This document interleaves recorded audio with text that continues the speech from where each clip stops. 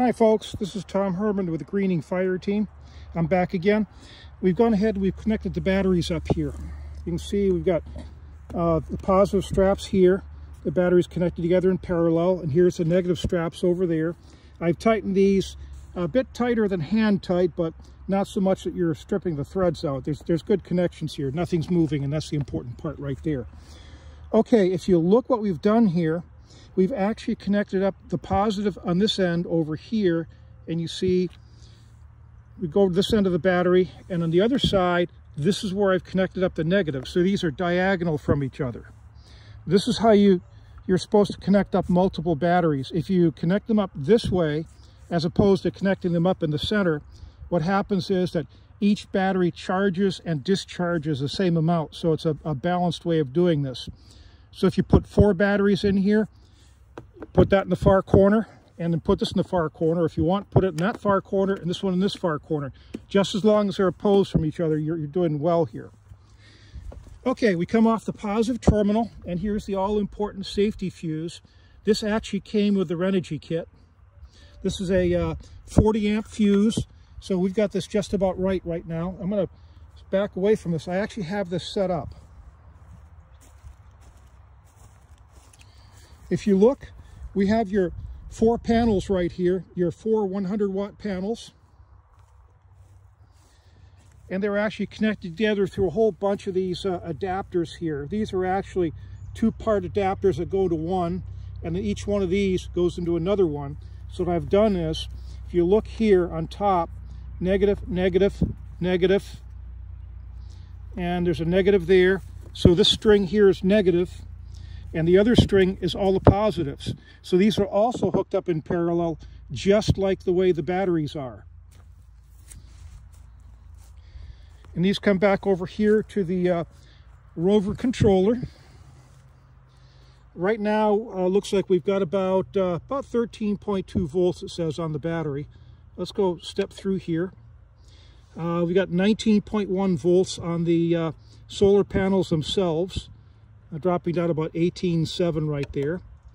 And we're actually pulling 15.4 amps.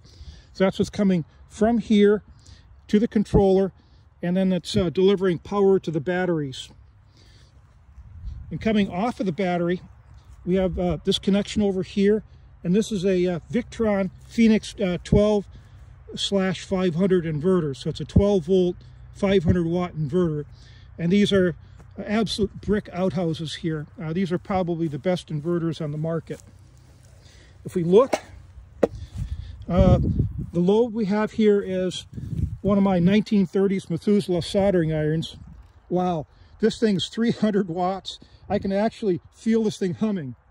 Uh, that's how much power is going through it. It's pretty cool. Uh, and on here, we have the Kill A Watt. Uh, these are great. These are about uh, about $27 through Harbor Freight. And these are fantastic for, for monitoring uh, your power parameters here on the 110 volt side. If you look right now, uh, we're pulling about uh, almost 300 watts. I can change this. I can watch amps here.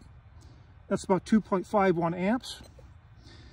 Uh, we can check voltage and not bad with uh, this thing 60% loaded.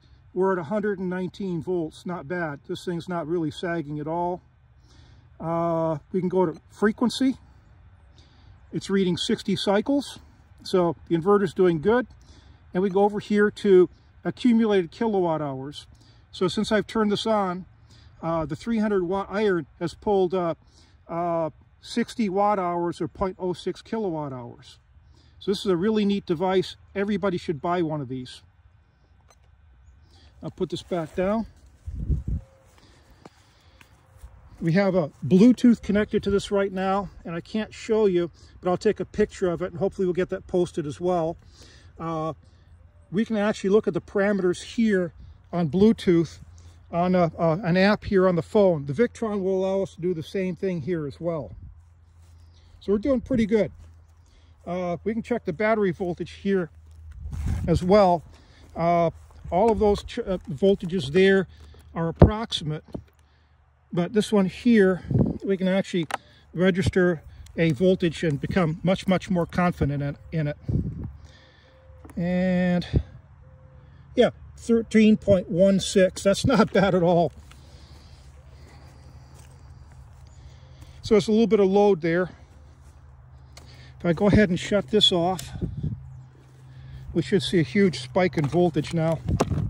This thing should start coming up more.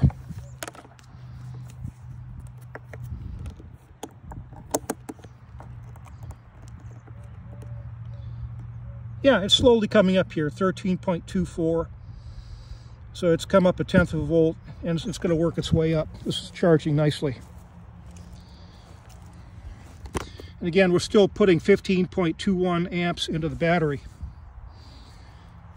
I'll show you the back side of one of these panels here as well.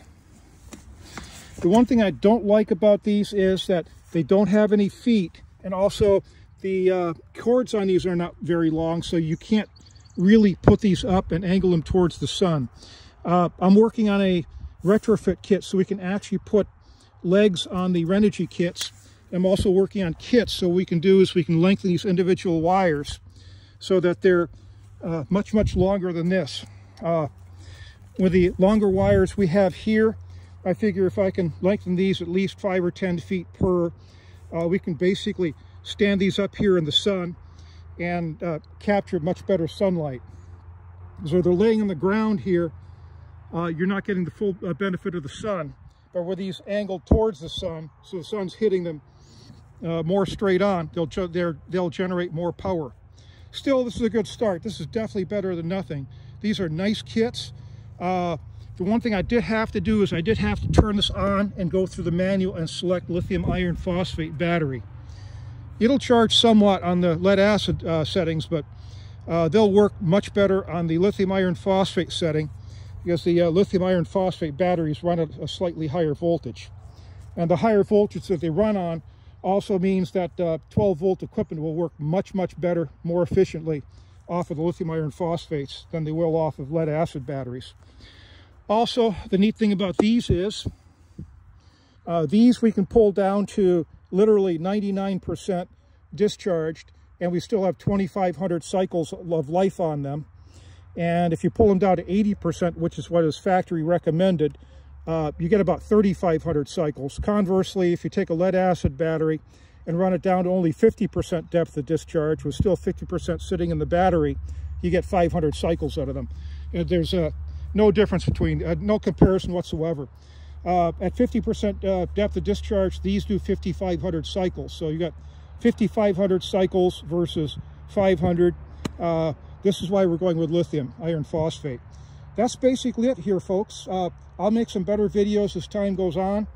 And I appreciate you watching these. I hope you've learned something from them. I appreciate your feedback and your comments. Thank you very much.